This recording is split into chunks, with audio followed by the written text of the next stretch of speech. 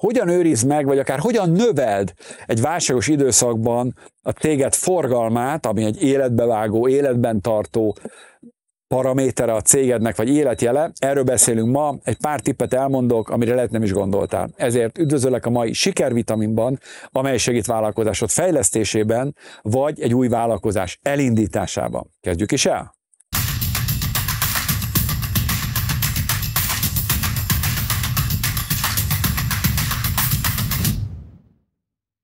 Ahogy már a hétfői időben mondtam, valószínűleg, nem is, valószínűleg el is lehet hagyni.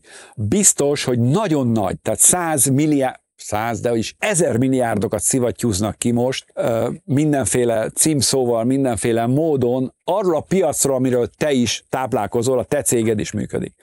És hadd meg egy hasonlatot, hogy értsed. A vállalkozásodban olyan, mint egy szervezetben mondjuk a vérkeringés, a vér, a vérnyomás, a véráramlás az a cash flow, az a forgalom. És amiről azt gondolják legtöbb, hogy a forgalom a legfontosabb, mondom, egy fontosabb, mi az, ami, ami pandémiánál megtanultunk, ugye hiába van vérkeringés, hát hiába pumpálja a szíved az egész szervezeten keresztül a vért, hogyha mi nincs benne, akkor mi történik? Így van. Ha az oxigén, azt hiszem százalékos valami lehet mérni ilyen újra rakott műszerrel, vagy pontosabban az én telefonom, vagy az órám is tudja ezt mérni, ha ott mondjuk a 96, 94, 98 a normális, avval tudsz jól élni egészségesen, nem fáradtan, nem betegen, hogyha pandémia esetén, tehát ez a koronavírus esetén ez lecsökken akár 80 vagy az alá, akkor meghalsz. Tehát nagyon nincs oxigén benne. És mi az oxigén a vállalkozásodban? Igen, a profit. Tehát a forgalom az a vérkeringésed, az oxigén hányad, az pedig a profit hányad. És ha nincs elegendő profit hányad, akkor meghal a céged. Tehát kell a profit, de kell a forgalom is. Tehát mit tudunk tenni a forgalomért? A következőben, mert beszélünk majd a kiadásokra, a költségekről, hiszen a kettő különbsége adja mag, ugye a, a bevétel és a kiadás különbsége fogja megadni a nagyjából a profitodat, nyilván a beruházások még ebbe belejátszanak. Szóval mit tudsz tenni, hogy megőrizd a, a forgalmat egy olyan időszakban, amikor csökkenni fog, akár lehet, hogy jelentősen csökkenni fog az a pénz, ami a te piacodon elosztásra kerül.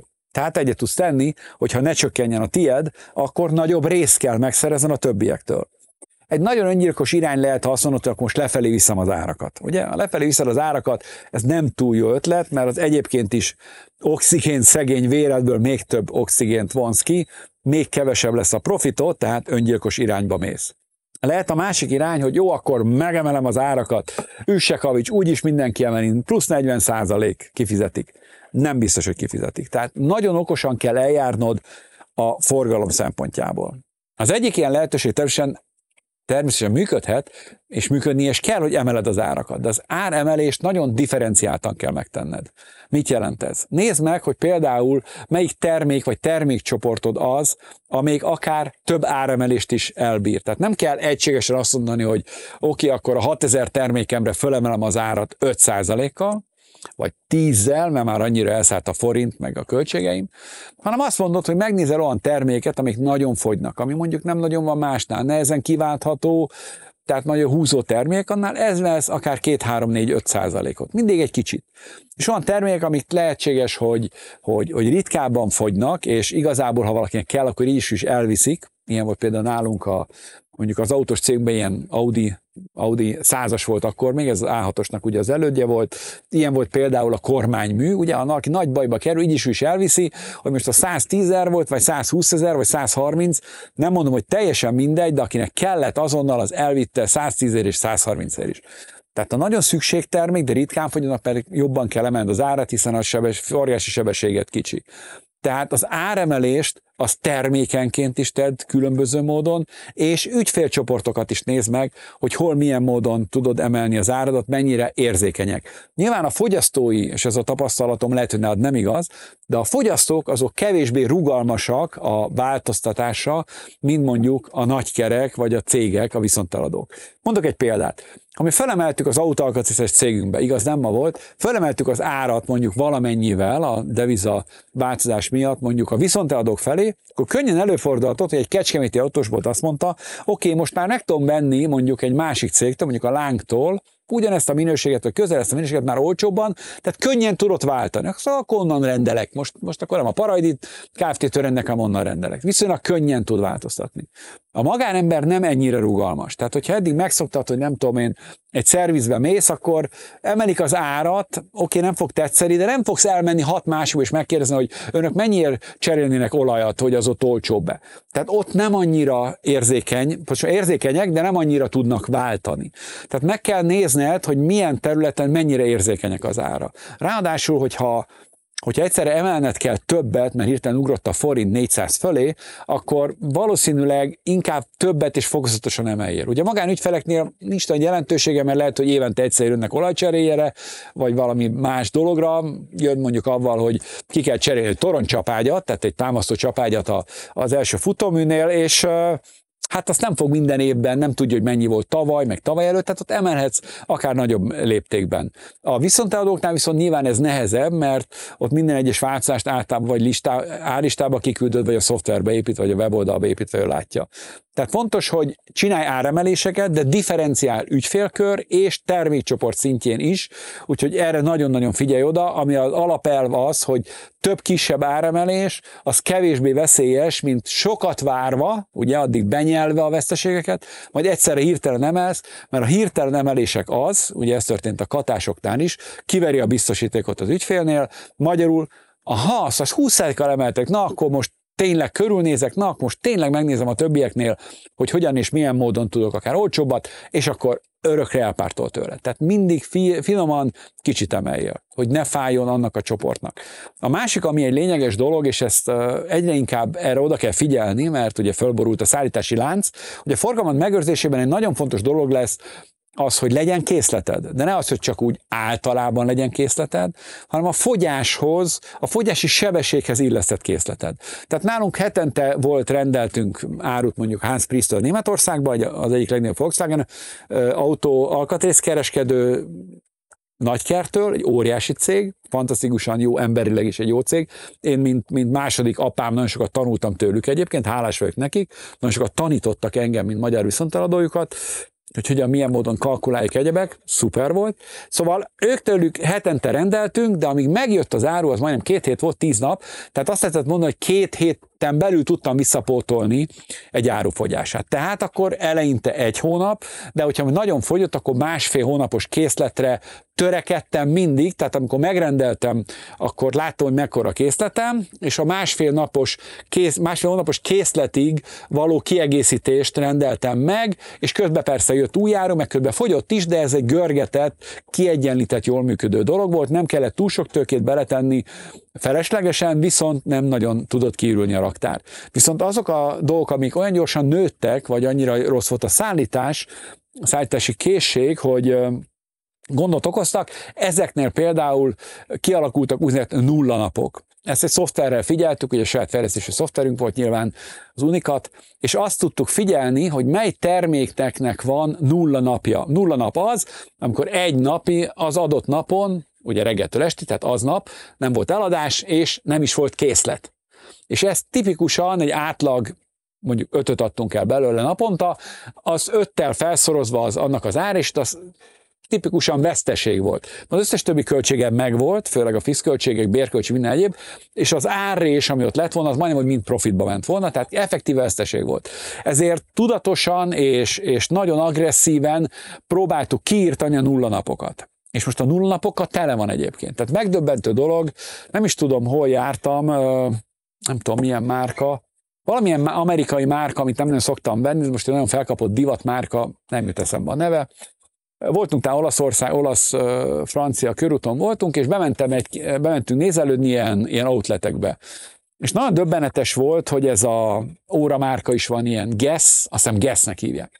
Bement, és talált egy marha jó ilyen műbőr, de marha jó bőrkabátot nekem. Ugye hát amióta fogytam, azóta pont passzul is, meg egyebek, tök jó. És akartam egy jót venni, de nem volt méret és utána figyeltem, hát outletek ugye vannak pár száz kilométeren, és kimentem vagy három-négy outletbe is, és nincs. És azt mondtam, ennyire hülye nem lehet ez a guess. Ennyi, szá, valami 100 euró volt, vagy 110, nem tudom, ennyi pénzt dob ki az ablakon. Tehát gondolkozz azon, hogy ne csökkenjen a forgalmad, ne te legyél az, akinek nulla napjai vannak. Ez egy nagyon fontos, és amiről, hogy elmondjam, hogy miről is beszélek egyáltalán, hogy legyen fogalmad, figyelem kell a szigeteket, hogy el ne üssünk egyet, nem fog elugrani sajnos, az, hogy ez, amikor én beszélek, és amikor ezt a szoftvert kifejlesztettük, saját fejlesztésbe volt, és még doszos világ volt, nem volt internet, ez 94-96 körül volt. 95, 96, 98, aztán ekkor. Akkor elkezdtem mitől lenni. Egyébként 94-es vagy 95-ös a, a, a jogosítványom egyébként. Tehát jóval 27-28 év vitorlázva egyébként. Akkor volt ez. Tehát ma ezt tízszer könnyebben meg tudod tenni, akár excel vagy bármivel, mindenféle programozási tudás nélkül. És azt látom, de nem csak ennél, bemegyek egy festékboltba, bemegyek egy bármilyen boltba, bemegyek egy cipőboltba, bárhova bemegyek, és mind azt mondják, hát a központ rendel, és nincs áru. Én ma az elmúlt, mondjuk a nyáron ugye mentünk, ez hosszabb, vagyis mikor volt, ez március voltán, ez hosszabb körútra jártunk Majorkán is például, és szinte következetesen a, az, amit akartam venni, és nem élelmiszerről beszélek, amit akartam venni, a kétharmadánál azt kaptam, hogy most nincs és kiengedtek az ajtón forgalom nélkül. Jó volt, ha el akartak adni a más szart, de más szart nem vettem, mondtam, legyen méret. Hát összesen férfiaknál van hat fajta méret egy adott kabátban. Ha annyira fogy, akkor rendelnek kétszer annyit. De nem minden, csak egy van kitéve, és amíg nem ment le, mit tudom, micsoda, akkor egész sorozatot kell rendelni. Őrültség. Tettől legyél okosabb. Tehát le legyenek nulla napja. Ez a második ilyen fontos pont a forgalom megőrzésében. A harmadik az, hogy alkalmazza a 80-20-as szabályt. Tehát nézd meg, hogy ki az a 20% az ügyfeleidnek, aki hozza a 80%-át a forgalmadnak. Lehet, hogy ez persze nálad nem igaz, mert mondjuk egy biztosító vagy, aki biztosító broker vagy, aki családi házakat, vagy mondjuk panelházás lakásokat biztosít, és van ezer ügyfeled, és nincs semmilyen 20%-a, még a 80%-át hozna a forgalomnak, mert nagyjából egységes. Tehát ennél ez nyilván nem lesz igaz. De ahol megvan ez, hogy a 80-20-as szabály nagyjából igaz, akkor nézd meg a 20%-ot, és kezdj el sokkal többet foglalkozni velük. Menj el hozzájuk, tedd fel azt a kérd, ne, ne az ügynöködet küld el, menj el te. Figyelj ide, mi az, amit jobbá tudnánk tenni, hogy elégedettebb ügyfél legyél? Mi az, amit tudnánk tenni azért, hogy több pénzt tudják keresni? Erre nem fogja azt mondani, hogy nem tudok semmit. Vagy megkérdezte azt, hogy figyelj, de mi az a fő problémád, amivel az én cégemnél találkoztam, amit te szeretnéd, hogy másképp csináljunk? Ide figyelj, ha ezt a figyelmet oda teszed, akkor legalábbis nagyon nehezen fognak, vagy kevesen fognak átmenni egy konkurenciához. Tehát fog magad, és kerekedj fel, és őrizd meg a legnagyobb ügyfeleidet. Vagy megteheted azt, amit én is tettem, ami velem is történt. Ugye én mondtam a Hans Priestnél az előbb említett példánál, és az történt, hogy kimentem a Hans Priesthez, ugye a sztori, hogy az elétől érts, nagyon egyszerű volt. Volt a Rak György, akinek most a BMW szalonja van a Budaörsön. A Rakgyűri volt az, aki importálta, mert én még fiatal, süldő egyetemet éppen végzett sánsz voltam, és hát én nem tudtam, hogy megy az import dolog, ő neki volt joga lehetőség, és ő hozta az autó alkatrészeket. Majd olyan sok alkatrészt hozott be, főleg nekünk, az autós, és a Volkswagen-es cuccok többségét mi vettük meg, hogy egy idő után már azt mondtam, hogy hát azért jó lenne nekem rendelni a Priestől, az a plusz x százalék, amit egy köztes cég rátesz, ezt jó lenne megszerezni. És többször megkerestem a Hans Priest, az öreget, hogy, hogy szeretnék közvetlen importálni és mindig azt mondom, nem, van egy képviselőnk, tudod ki az őtől leveszedését tovább. És az ment éveken át, és egyszer csak azt mondta a Hans Priest, hogy figyelj, nem tudok mit tenni, vagy figyelj ide, hát nem tegezett nyilván az öreg, figyelj, nem tudok mit tenni, viszont egy, egy két hét múlva lejár ez a szerződés, ha nem lesz meghosszabbítva, akkor szabad az út. És két hét plusz egy nap után ott álltam az ajtónál, azt mondtam, itt vagyok, szerződni akarok. Meg lett hosszabbítva? Azt mondja, nem. Még nem szólt a magyar. Oké, akkor most én itt vagyok. Én itt vagyok, és én akarom. És akkor ott egyben megkaptam a kizárólagosat, és onnantól indult el egy nagyobb import és egy nagyobb piac felépítés. Tehát legyél ott, legyél résen, szerezd meg. Ez egy nagyon fontos dolog. És akkor elkezdett tanítani. És kérdezte tőlem először a Hans Priest az öreg, hogy és figyelj, de mekkora áréssel dolgozik. És én mondtam, hogy hát ilyen 30-40. Azt mondja, Isten mentsen ettől. Száz százalék. Tanulja meg egy dolgot. Tehát én egyetemről kikerült süldő voltam, apám műhelyét csináltam, ő meg már akkor 10 millió vagy 100 milliós, nem tudom mekkora forgalmú ö, cége volt, márkában természetesen, és ráadásul a világ minden részében szállított, de Brazíliától kezdve mindenhonnan importált. Tehát export-importban egy nagy hatalom volt szinte. Ma szerintem annál jóval nagyobb nem tudom mennyi, milliárdos forgalmat csinált, nem tudom, már kibővítette Mercedes, Opel, Skoda és még egy csomóféle márkával. Kicsit javítunk a irányon. Szóval elkezdett tanítani. És mi ebből a tanulság? Nagyon sokat tanultam, megmutatták a szoftverrendszerünket, abból tanultunk, megmutatták azt, hogy a fia, aki informatikus, az vette át az egésznek a saját fejlesztését. Akkor rájöttünk, hogy saját magunknak érdemes fejleszteni a szoftvert, mert akkor leszünk igazából erősek, akkor tudunk belenézni a null napokba és egyebekbe. És tanított. És ez a másik fontos tanácsom. Ha viszontadokkal dolgozol, vagy akár ügyfelekkel, tanítsd őket. Ha forgalmazol, nem tudom, egy szórópisztolyt, most mondok egy, egy festéktémát, akkor kezdje minél több videót csinálni abból, hogy hogyan tud ő jobb fényező lenni, hogyan tud jobban használni azt a szórópisztolyt, hogyan tud jobb minőséget csinálni, egyebek. Tanítsd, képez az embereidet. Ezt nem mondom, hogy a, a túlárazott terméked hatására elcsábuló és máshova elmenő viszontaladóidnál vagy ügyfeleidnél segít és ott fog tartani mindenképpen, de legalábbis jelentősen csökkenti, hogyha felrek az áraid. És taníthatod arra, hogy hogyan legyen jobb üzlete. Taníthatod marketingre. Taníthatod arra például, hogy, hogy eh, hogyan és milyen módon keresse meg az ügyfeleit, hogyan milyen módon marketingeljen lokálisan.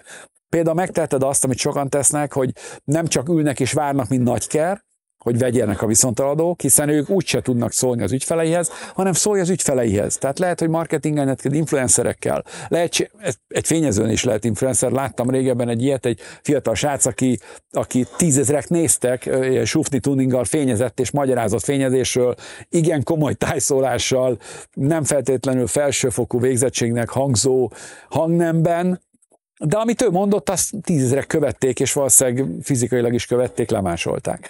Tehát kezd el esetleg a te viszont tudod ügyfeleit megszólítani. Nyilván ezáltal mi fog történni, ez is megtörtént egyébként velünk, hogyha megmutatod például, hogy van egy A terméked, amit nagyon ismernek, és viszont hogy sokat visz, de ugyanabban a márkában van egy B terméked, és azt bemutatod a piacon, és azt mondod, fordulj a viszontaladónkhoz, és a videót felsorolod, hogy hol vannak ezek a viszontaladók, akkor tudod segíteni a viszontaladódat is.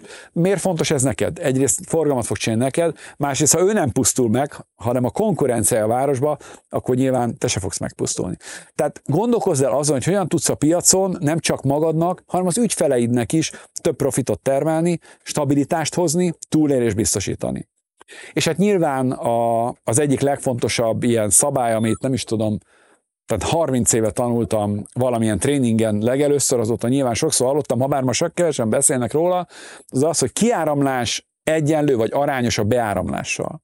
Tehát ha kétszer annyi e-mailt küldesz ki mondjuk hírlevelet, akkor kétszer annyi forgalmad lesz. Tehát a kettő ez direktbe is összefügghet, tehát intenzitását növeld meg a kommunikációdnak. Úgyhogy ezeket javaslom neked, kezd el minél hamarabb. Én azt gondolom, hogy ha ilyen irányba elindulsz, akkor nagyon-nagyon hamar jelentős forgalomnövekedést tudsz vagy elérni, vagy pedig legalábbis megőrzöd. A következőben beszélünk arról, hogy hogyan tudod megőrizni vagy lecsökkenteni az állandóan emelkedő költségedet. Sok sikert kívánok, találkozunk a következő videóban.